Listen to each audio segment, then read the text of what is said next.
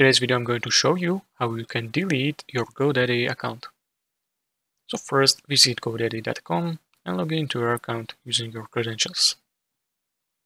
Before deleting account, ensure that you delete any products associated with your GoDaddy account.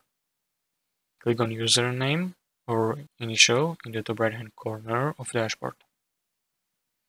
Select account settings from drop-down menu. In account settings, navigate to account section and scroll down to the bottom and locate option to close account. Checkbox to confirm your decision to close your account. Click on Close Account button to proceed. After confirming closure of your account, GoDaddy will process your request. Know that this action is irreversible and you will not able to recover your account or any associated data.